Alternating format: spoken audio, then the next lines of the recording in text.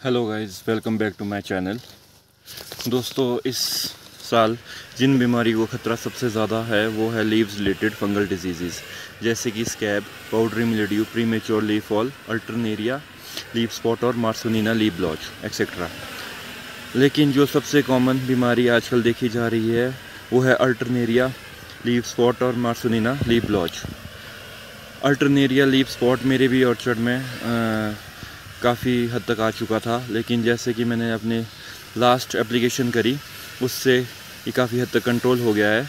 और जो आज मैं स्प्रे कर रहा हूँ, वो प्रिवेंटिव मेजर के तौर पे कर रहा हूँ। अल्टरनेरिया और मार्सोनिना इनका इन्फेक्शन मैक्सिमम बगीचों में देखा जा रहा है। इन बीमारियों से बचने के लिए बागवानों को लगातार स्प्रे करने की ज़रूरत है।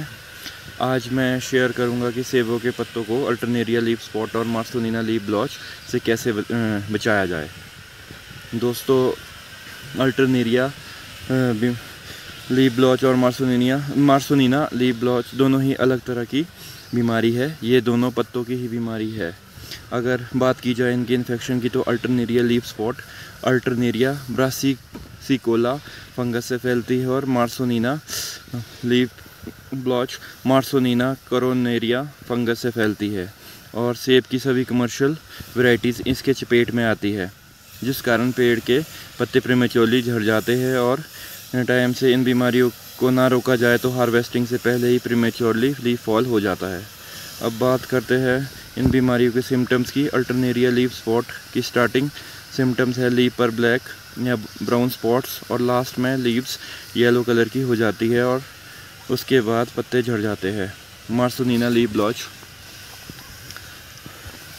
बीमारी, गर्मी में बारिश की वजह से लीफ के ऊपर वाला हिस्सा जो पार्ट होता है, वो ब्लैक स्पॉट्स दिखते हैं और ये स्पॉट्स कुछ टाइम बाद ग्रे कलर के हो जाते हैं और जब ये बीमारी ज़्यादा फैलती है तो ये पत्तों के किन, किनारे से लाल कलर के होने लग जाते हैं और समय से पहले इन पत्ते पत्ते गिरने लग जाते हैं और अब फ्रेंड्स बात करते हैं इन सेब में इन बीमारियों से क्या क्या नुकसान हो सकते हैं?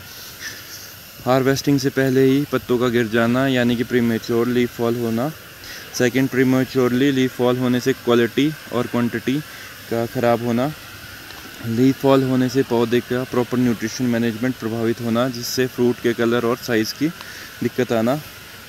नेक्स्ट ईयर में ब्लूम स्टेज के बाद फ्रूट सेटिंग का वीक होना, जिससे प्रोडक्शन में कमी आ सकती है। ये है कुछ negative impact alternaria leaf spot और मार्सोनिना लीव ब्लॉच के।